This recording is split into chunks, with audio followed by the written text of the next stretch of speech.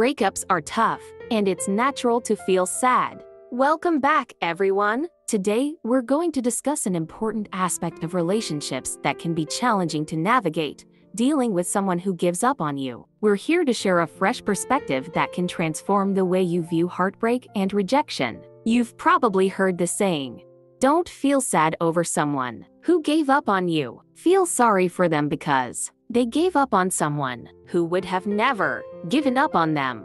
Today, we're diving into the wisdom behind these words and how they can be a guiding light in your own journey of love. First and foremost, remember this you are deserving of love and respect. If someone decides to walk away from you, it's their choice and it's their loss, not yours. Your self worth isn't determined by someone else's actions or decisions. Instead of drowning in sadness, try extending empathy towards them. Consider the possibility that they might not have recognized the amazing person you are Perhaps they were grappling with their own struggles and couldn't appreciate the love you offered. When you can feel sorry for them, instead of anger or resentment, it's a step toward healing. Now, let's talk about resilience. The person who wouldn't give up on themselves is the one who knows their worth and understands that love takes effort and commitment. Use this as an opportunity to grow, learn, and become an even better version of yourself.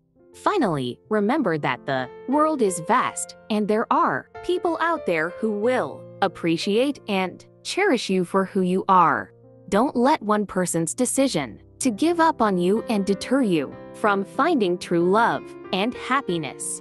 So, viewers, if someone gives up on you, remember this don't feel sad. Feel empowered. It's their loss, not yours. Show empathy, be resilient, and keep your heart open to the beautiful possibilities that await you. Stay strong in your journey of love and self discovery. You are worth every ounce of happiness and love that life has to offer.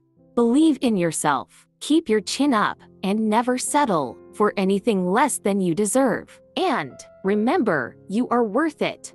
Thank you for joining us today, and if you found this video helpful, please like, share, and subscribe to our channel for more empowering content. We're here to support you on your path to a fulfilling life filled with love and self-acceptance.